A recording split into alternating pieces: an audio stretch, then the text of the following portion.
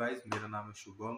तो आज मैं एक नया चैनल शुरू कर रहा हूँ और मैं अपनी जर्नी दिखाने वाला हूँ कि मैं पहले कैसे से मतलब मैं पहले खेलता था, फिर क्रिकेट खेलता था, फिर मैंने खेलना छोड़ दिया। मतलब कुछ प्रॉब्लम फेस करनी पड़ती है तो फिर उसके बाद मैंने सोचा, मैं दोबारा शुरू करना चाहता हूँ।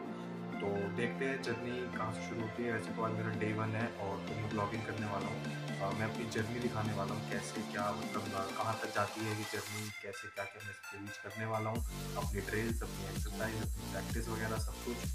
तो मतलब अब ये करना है। I want to do something for me for myself for my family so I think I should move on जो हुआ, सो हुआ।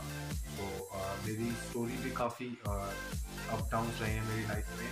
तो आज मैं ड्रिल्स करने वाला हूँ। नॉर्मल ड्रिल्स क्रिकेट की, जिसको हैंगिंग बॉल ड्रिल्स बोलते हैं हम लोग। तो चलिए गाइस जैसे कि आप देख सकते हैं ये वन हैंड ड्रिल्स होती है। इसमें आपका बॉडी वेट भी इसमें बॉडी वेट एकदम सीधा होना चाहिए और आपका हाथ बॉटम हैंड से आपको खेलना है इसमें।